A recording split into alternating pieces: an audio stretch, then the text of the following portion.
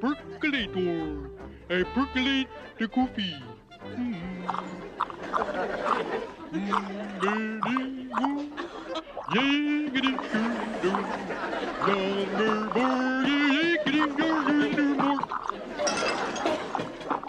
Horseburn, the. Two? Younger? Over. What the hey? Oh, wow, Dr. Bob, what's wrong with this man? Oh, I think he has an advanced case of ingrown coffee pot. Is it rare?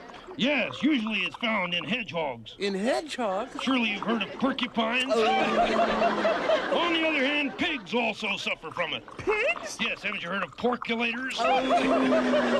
And so Dr. Bob has made a house call. Tune in next time when you'll hear Nurse Piggy say. Dr. Bob, shall we get him to a hospital? No, just keep him away from policemen. Why? He'll get a parking ticket.